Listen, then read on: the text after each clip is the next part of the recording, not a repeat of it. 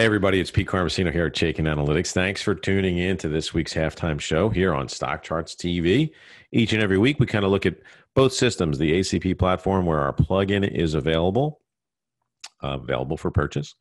You can uh, just locate it. I'll show you where how, how to find it on the ACP platform. And really, what it does is it goes over the fundamental rating of some individual stocks that we rate. Obviously, we rate about 4,400. Not every stock is rated, but about 4,400 covers a wide universe.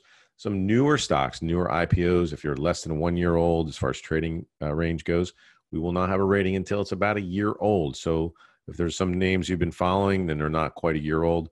We're not going to have a rating on them. However, uh, most of them do. So we start to build some technicals. Obviously, on the ACP platform, you can do that all day long and any which way you'd like because it's an amazing uh, setup, and I like it, and we use it all the time and uh, we combine the fundamental rating okay? You take our rating and you combine it with technicals on the acp platform. So this week i'm going to start looking at some energy names you know specifically in the natural gas uh, sector and industry that's kind of all kind of combined and kind of in one. There's many companies who do both obviously and there are some that's uh, specifically focused on it. But i'm just going to pick the top names that i've kind of been coming across and looking at and we'll compare them, look at the system. On the Chaikin side, we'll look at the ACP side as well. And as you know, again, I'll reiterate it on the ACP side, you can put all a plethora of indicators. I don't know which ones you use specifically, but you can add them to your charts, obviously, but you can always see the power gauge side by side with the indicators. And that's really where you get the edge when you combine fundamentals and technicals. So let's go take a look at the charts and see what we can see. All right, everybody, we're back here on the ACP platform. Now, I'm starting off here on the S&P because I wanted to point something out. We've been calling out some areas uh, along the way, and I don't know if I shared uh, this many times with you, but um, I do share this out on social media quite a bit. You can follow me uh, at Pete Carmasino on Twitter. I posted this out this morning. I posted it out a few times uh, along the way, and this is really a chart that um, I used and I built, you know, putting a head and shoulders pattern together looking at the high of where the head was formed versus uh, the neckline, where I thought was the neckline anyway, and then taking that same move up to the top of where the head formed and just taking a mirror image of it and drawing it down. And we got down to about 3750. Now there's a lot of folks doing Fibonacci retracements and all kind of things, and they're all kind of coming into the same area. So look, technical analysis sometimes um, is a self-fulfilling prophecy if enough people use it as well. But at the same time, it is an area where you can use and you know you, uh, a technique that you can use to build areas of targets. And so this actually on friday hit a low of 3810 and change and it's really um, inside the range. We were at around 3811 or so as the top of that box. So pretty interesting. We've been building this for quite some time. Again go check out my twitter feed. You can see the previous charts on there as well. It's at pete carmasino on twitter. But at the same time uh, we wanted to just point that out. Now, I've been told um, that I could have used this area as the neckline as well. Now, again, I'm not a CMT, but I've been doing technical analysis for a very long time. And um, so I said, okay, I'm game. So I did it again. I basically built another mirror image and used the neckline. Actually, the odd part is I was using this as sort of an area of um, of target area that if it broke down lower, it would be worse. So maybe this one has a double neckline. I don't know.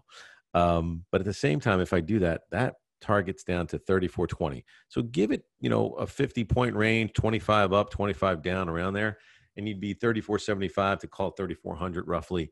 And um, let's hope that doesn't come true. But if it does, if you're following trends, you're going to have opportunities to kind of either get out of the way or take advantage of it, no matter which way you play it. But it's nice to always take a look at the overall market just to kind of understand what you're up against and what's happening. So let's dive into some of these names I was talking about. So we're going to look at um, uh, just some names like uh, Apache, which is really a name that should come to mind uh, if you think of natural gas just in general.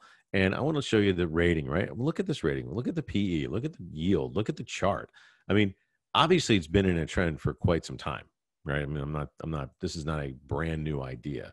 A lot of folks are thinking, you know, is this really the uh, area that it can continue, or is it too long in the tooth, or whatever the case may be? Now, if I look at a five year chart, I see we're not really quite at the highs, which we're very close.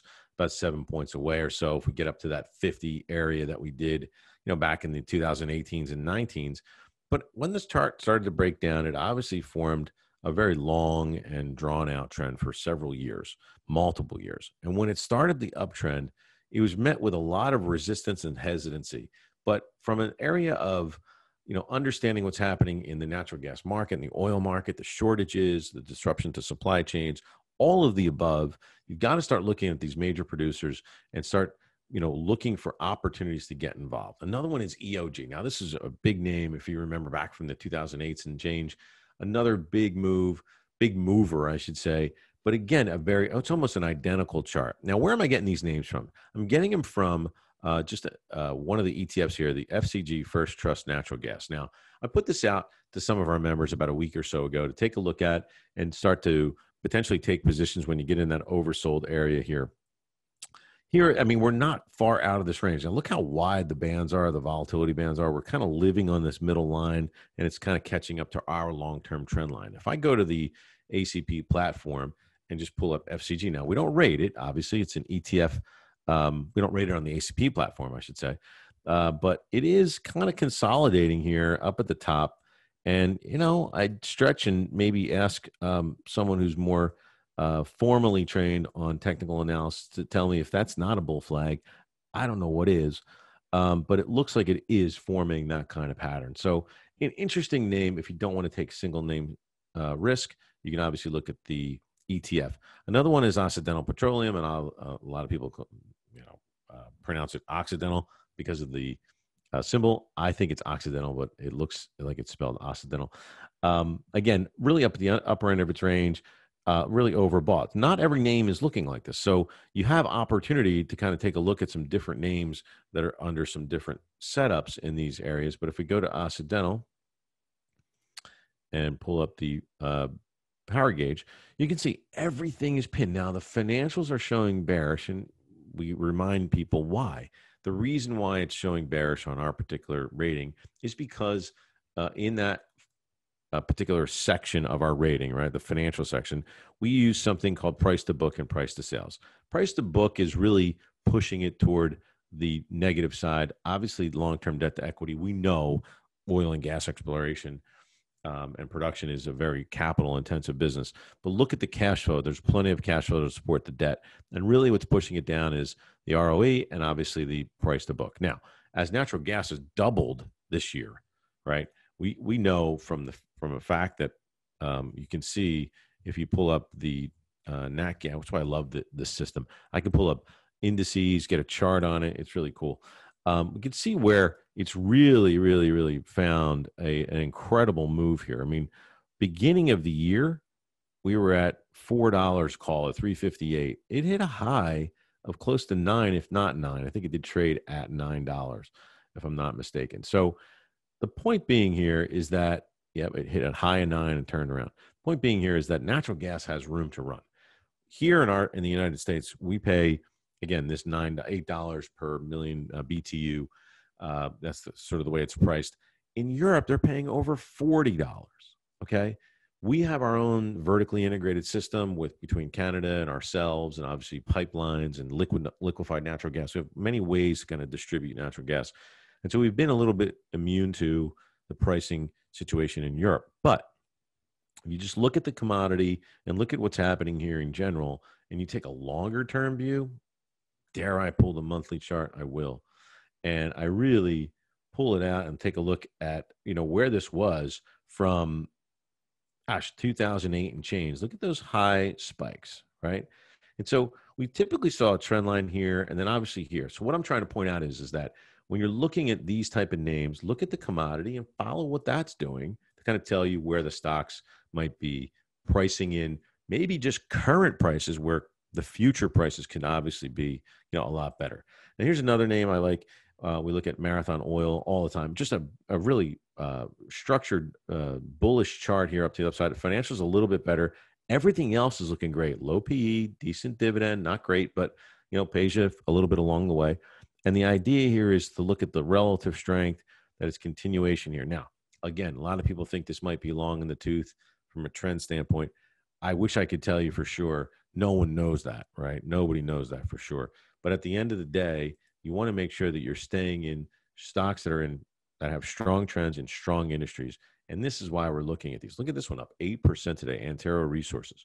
Again, another name that was oversold and and obviously bullish and relative strength. That's why the combination, okay, the combination of fundamentals and technicals really comes into play. Now I'm looking at a long-term chart here on AR. Look how low it got. I mean, this is when uh, the beginning of the pandemic, when oil and natural gas, everything kind of sold off on a monthly chart. Let me go back to a daily real quick, and just kind of look at, you know, again a, a really consolidating setup here. Boy, I'll tell you, if if it could move above that thirty nine dollars, it looks interesting to me. Power gauge, not the greatest, but it is setting up to bullish. Again, financials and things like price to book and uh, uh, debt to equity, things that nature, are kind of pushing the financials down just a tad. I wouldn't be too worried about it. Obviously, the markets can ignore financials, the specific sector of our of our rating, for a very long time. We know that. But at the end of the day, you're looking at technicals and experts still behind the name, not only the name, but actually the whole theme and the narrative of uh, higher prices uh, for longer. Okay, so we, you know, we might say, now here's a darling of the of the group. Devon Energy has been just on a tear, absolutely from September. Now that breakout here around the twenty eight dollars was really accompanied by uh, a lot of moving parts on our system, but that relative strength informed us first, and then look what the rating caught up later. Now we do see the rating ahead sometimes, not all the time. Sometimes, as I said to you, the market's going to ignore fundamentals and get behind the theme first understanding that the fundamentals might be able to catch up. And that's kind of what this does for you, right? When you put these together and you look at uh, being able to track both your technicals, and again, you can put we know any any indicator you want on here, which is an amazing system on stock charts. But just adding this little slug here of one more piece of information to kind of solidify or maybe validate what you're seeing in the trend, um, or if you were looking early in the trend and you started to see it change and saw a bullish rating here around the $50 level, you still were afforded another $20 up on the up on the upside. That's a big move. Okay? You don't always have to find the bottom in these names and when the trend is really moving, we know what the the phrase is, right? The trend is your friend and uh, don't fight it if it's there, right? Try to manage it, but don't fight it. Um, we'll look at Hess. This is one an integrated oil and gas uh, name. Again, late to the party here on the breakout. Way, you know, we saw Devon was way ahead, months ahead. And then here's another one where the rating changed relatively soon after the relative strength changed as well. So once you start to see that, you start to put this together and you say, wow, I can see the power of both of these. You want to add that power gauge to the ACP platform. And I think you know you'll find uh, it to be very beneficial. Um, and just another one, CNX Resources. Again, this is a, a smaller name in the group of a 3.8 billion dollar market cap. Not small, really. It's really almost a mid cap, uh, but definitely in that small to mid range. Not the best fundamentals, but the chart was looking interesting as well. But again, a rising tide lifts all boats. When you're seeing this um, name, like let's look at this one, UNG, and I'll pull it up on the ACP platform now we don't rate the commodity uh, ETFs in general, but we do build technicals on them. And look at the move here, pretty amazing. You know, from 16, it didn't quite get to a double yet, but if I pull up the ACP platform, you could just take a look at it here as well. Uh, just a clear uh, potential picture if you can kind of see, you know, where it stands and where it's been. And again, look at it on the long-term basis. You've got a pretty long uh, track record of a downtrend. It's just starting to break out. So always look at the commodity underneath the, the stock. All right, everybody, that's all I have for today. Again, thanks for joining me here on the halftime show. Uh, Pete Carmasino here with Chaikin Analytics. Again, follow me on Twitter at Pete Carmasino on Twitter. You can start to see some of those charts between, you know, during the week. And then obviously the videos uh, are here every Monday. Thanks again for tuning in. We'll talk soon. Hey guys, Dave Keller here with StockCharts.com. Thanks so much for watching our video. If you enjoyed it, and we hope you did, hit the like button right below. Also, we have so much new content every day. Consider subscribing to the channel. Just hit the subscribe button in the video or right below. Thanks for watching. Stay safe. Have a fantastic day.